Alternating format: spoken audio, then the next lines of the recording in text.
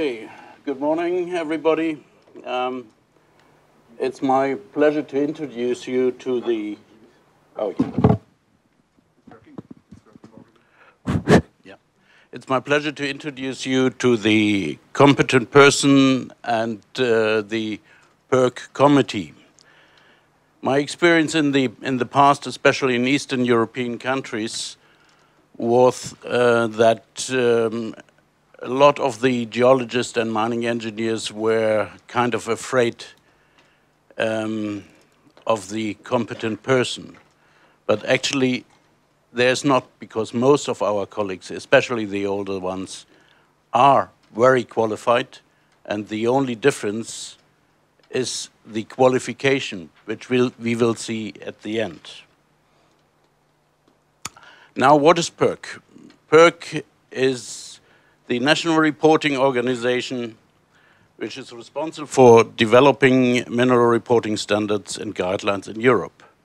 It's a constituent member of CRIRSCO, the Committee of Mineral Reserves International Reporting Standards. It was established by professional geologists, mining engineers, and metallurgical engineers. It's a non-profit uh, organization based in Brussels and it's largely based on the international reporting template, uh, which was shown by Heike before as well, with its 2017 um, reporting standard. Now, the four founding members of the um, of the PERC committee are the IOM3, the Institute of uh, Mining and Metallurgy in, uh, the, in the United Kingdom, the Geological Society of London, the Institute of uh, uh, the Irish Geological Institute and the European Federation of Geologists. Just recently, in, within the last year, FAMP, which is the Fennoscandian Association of Metallurgical and Mining Professionals, and IMEP, which is the Iberian Mining Engineers Board, joined uh, PERC as a full member especially IMAP um, could be, FAMP and IMAP could be an, an, example for the Baltic states if they could um, join together for the mining engineers to reach in future the status of a competent person as well. Now, the PERC committee comprises of four representatives from each of the constituent organizations which are the recognized professional organization, RPOs, for the accreditation of uh, geologists, mining and processing engineers as a competent person. In addition, a number of individual members um, as co-opted special advisors are member of the PERC committee as well. The principal activities are to maintain, improve, and promote the use of the PERC reporting standard, to represent the minerals industry of reserve and resource reporting matters, and to maintain international reciprocity, uh, recognition of professional accreditation. PERC is based on four principles, of which the First one is the transparency. That means adequate information is presented clearly and unambiguously. Materiality considers all relevant information available at the date of reporting. Competence, the work is prepared by suitable, qualified, experienced, competent persons and impartiality, the competent persons is not unduly influenced by the reporting company. All four points have to be considered when choosing a competent person and, of course, when writing a report. The CRIRSCO standard and codes are represented worldwide. From this uh, map you can see in the meantime, um, we, we are 13 organizations in there from JORC in uh, Australia to CIM in Canada. Uh, one part is missing. I just see Sweden um, and Norway joined into um, the CRIRSCO now as well with their new organizations, and then from Russia to Chile on the other side. Switching to the competent person. The competent person, the CP, is located in the field between competence and qualification. Its definition, uh, according to the Health Administration Standard, is that a competent person means one who is capable of identifying existing and predictable hazards in, in the surroundings or working conditions which are unsanitary, hazardous, dangerous to employees, and who has the author authorization to take prompt corrective measures to eliminate them. In mining industry, our main target is to protect the shareholders and other investors, avoiding misleading public reporting. That means also to protect the public reducing the chances of deliberate fraud occurring, provided adequate information on potential risk and uncertainties, and lastly, maintaining the reputation of the mining industry professionals. This was basically created in the early 90s after the big frauds in uh, Indonesia, the Bre-X scandal, where millions of uh, dollars were uh, taken from the investors. Now, the PERC definition is similar. According to PERC, the CP is a minerals industry professional defined as a corporate member, registered or licensee of a recognized professional body, the RPO, uh, with enforceable disciplinary processes, including the powers of to suspend and expel a member. A CP must have a minimum of five years relevant experience to the style of mineralization and the type of deposit under consideration and in the activity that a person is undertaking. Acceptable professional bodies and classes of memberships under the standard which meet these requirements within Europe or elsewhere, the recognized professional organizations are listed separately in a document which are specified in Appendix 5. This definition of competent person is subject to any additional restrictions or conditions which may be required by the appropriate stock exchanges and regulatory authorities. The key elements for the, for the uh, competent person are relevant academic or technical qualification, approved membership in, as an, in one of the RPOs, the six organizations which we just showed. Sufficient experience, a minimum of five years, of relevant experience in their field which they are doing. Impartiality, not duly influenced by the reporting entity, and the CPD is based on self-certification. That means when I'm uh, convinced that I can do the job and I have the necessary experience, then I can self-certificate as a competent person on a project-to-project -project basis.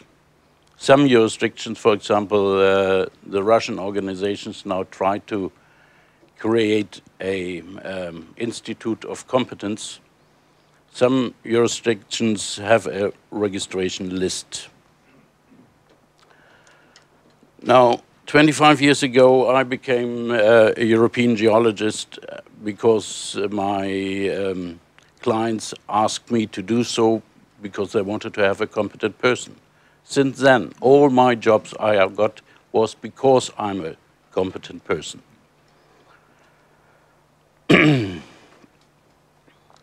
the Qualification aspects include that the professional body, the RPO, must have a code of ethics and probably a code of practice as well. They must have a complaints and disciplinary process, and they must provide a continuous professional development requirement. That means every year I have to do, like a dentist, in, in, at least in Germany, probably here as well, we have to prove that we are underwent some training. The types are the legal requirement in order to practice, the, en, which enables legal redress in case of a dispute and may require registration for the particular field of praxis. As there are not too many people who uh, were uh, who got a claim. Uh, for example, in the uh, European Federation of Geologists, we had not a single case in all the years. In Canada and Australia, there are some cases known where the disciplinary process had to be started. The RPO titles giving to the, um, which are the minimum requirement for the competent persons, are a member or fellow in the uh, IOM3, is the European geologist, Eurogeol, uh, in our EFG, the professional geologist in Ireland, and uh, the chartered geologist or chartered scientist in uh, the GSL. The titles of uh, FAMP and IMAP are not specifically known yet. The self-certification is based um, on the knowledge of the CP in the relevant field. He must be prepared to defend the work in front of uh, his peers it should allow for a comparable experience, and you should be aware of overconfidence. Now, if you look at the work styles we have, we have um, deposits of diamonds, nickels, coal, um, oil shale, dimension stones, copper. We have uh, different uh, forms of work, exploration, conceptual studies, feasibility studies, geological knowledge, mining knowledge, um, environmental knowledge. We have different uh, reports to write. Can that be done by one uh, competent person? No, it can't. So I can report only for a certain part. I can report only for a certain part um, of the expertise. That means also to write a feasibility study, we need a team. Of course, the team leader can um, probably not have all the experience from the others, but he takes the responsibility. The competent person is norma normally um, a minerals industry professional, an engineer or geologist, he should be a member of a recognized professional organization, as we heard that before, and a minimum of five years relevant experience is necessary. And of course, the competent person should be clearly satisfied in their own minds that they could face their peers and demonstrate competence in the commodity, type of deposit, and situation under consideration. If doubts exist, the person should either uh, seek opinions from appropriately uh, colleagues or should decline to act as a competent person.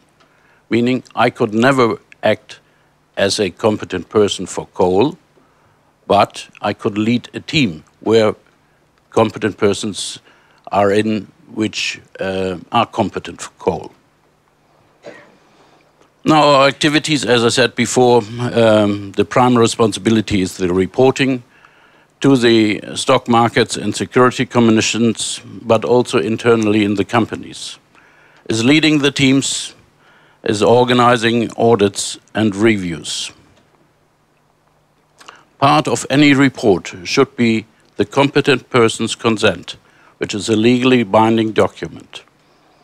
This is absolutely necessary for all the reports we write. It can be a standalone um, statement and it can be included as a compliance statement. A template for this um, consent is um, in the annex for the uh, PERC standard.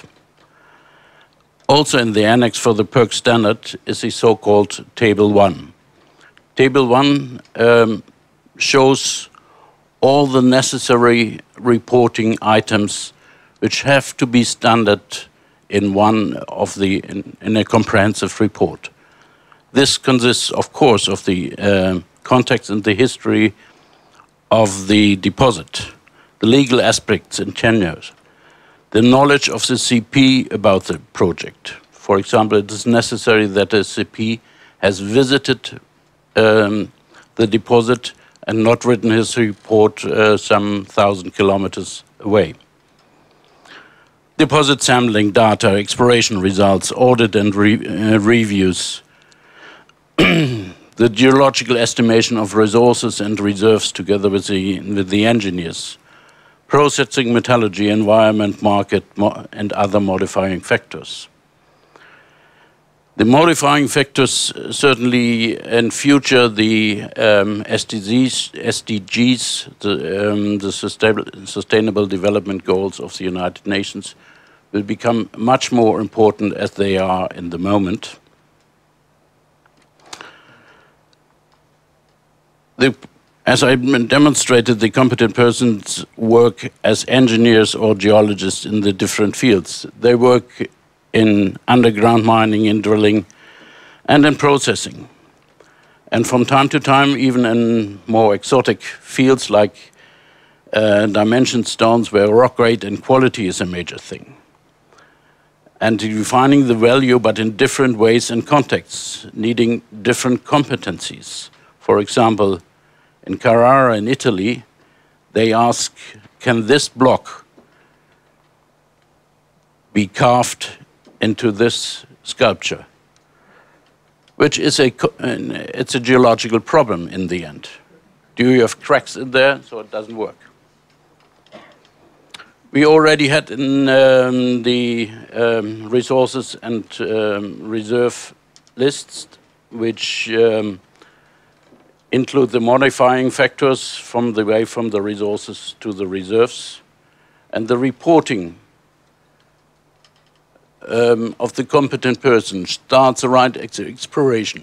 With the reporting on the discovery hole, drilling, trenching, a conceptual study, the exploration result reports goes over to um, the, the resource estimation, pre-feasibility standards, the geological investigations, and in the end, it ends uh, in the development of the uh, of the project with the reserves and re probable and proven uh, reserve estimation and a feasibility study. It continues in the annual reports um, of the mine life and in the end also, of course, uh, in the rehabilitation of the mine site. Now I'm coming to the end. The competent person is in the field of education plus qualification plus experience, plus CPD and ethics. That makes the competence. Now, what, make, uh, what is the difference to most of the people who are competent but are not part, um, uh, not member of an organization. It's a qualification, nothing else. Everybody of us here in the room, I assume, do have the ne necessary experience and education. It's only they have to become a member of a professional organization. The other question is the title of a competent person an honor or is it, is it a burden? Because you have to take the responsibility. You have to sign for something. And um, people, especially stock exchanges, might disagree with your judgment. But in the end, whose competent, uh, competence would you trust? For a gastro gastroscopy? The physician or the plumber? I think the competent person here in that place is the physician, not the plumber. Thank you, and Tenan Ve- Vega.